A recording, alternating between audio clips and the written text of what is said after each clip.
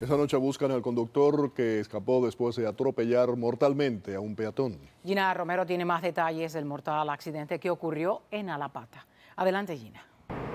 Gracias. Pudimos hablar con algunos trabajadores de este sector quienes informaron a América Noticias que la víctima siempre caminaba por este lugar, pero nunca se imaginaron que un conductor que huyó le podría causar la muerte al atropellarlo. Un incidente que fue grabado por las cámaras de seguridad de esta licorería. Veamos.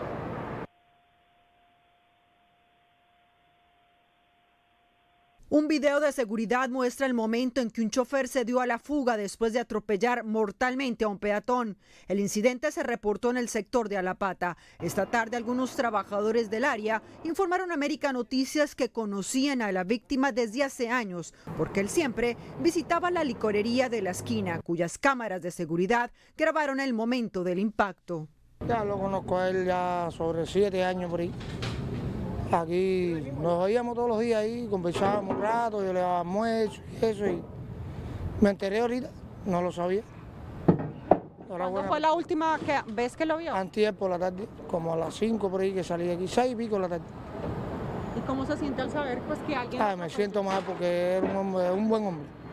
Siempre estaba sentadito ahí conversando con nosotros, con los vecinos por aquí.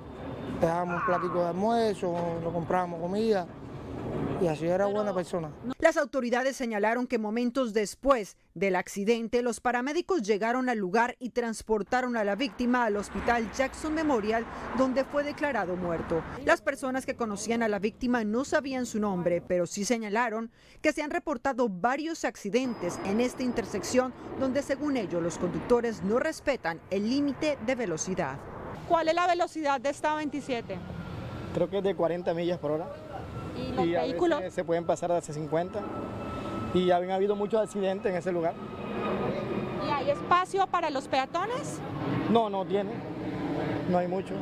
A veces también la, el sistema de parqueo, que es bien malo de este sector en la 21.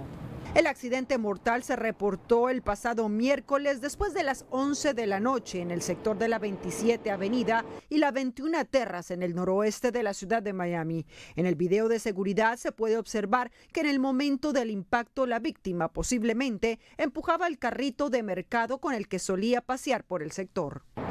Y recuerde, si usted tiene cualquier detalle o información que ayude con el arresto de ese conductor que huyó, puede comunicarse como siempre anónimamente a la línea de alto al crimen de Miami-Dade al 305-471-8477. Para América Noticias les informó Gina Romero.